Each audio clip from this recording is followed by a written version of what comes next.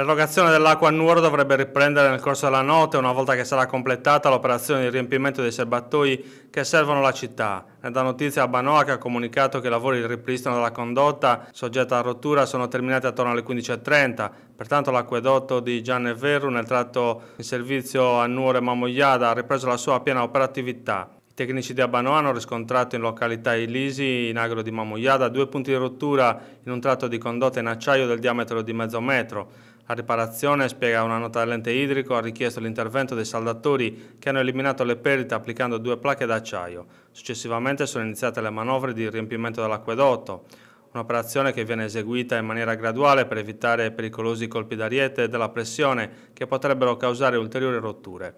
In serata pertanto sarà ripristinato l'approvvigionamento dei serbatoi comunali di Nuoro e Mamogliada. Il loro riempimento consentirà di ridare pressione nella rete idrica cittadina. A Nuoro l'erogazione all'utenza rientrerà nella normalità durante la notte. Banoa comunica che nel corso della giornata è stato lasciato operativo l'approvvigionamento degli ospedali San Francesco e Zonchello, mentre per le altre utenze sensibili è stato attivato un servizio di autobotte.